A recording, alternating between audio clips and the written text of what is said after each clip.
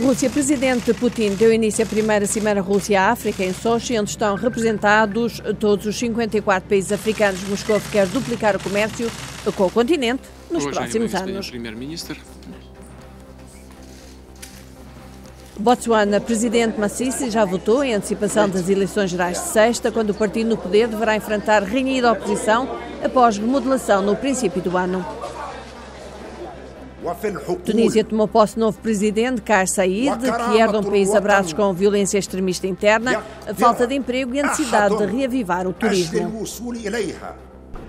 A República Centro-Africana, mais de 6 mil pessoas perderam casas em inundações em Bangui, depois de rio Ubangi ter saído das margens. A ONU considera este um dos países mais vulneráveis às mudanças climáticas.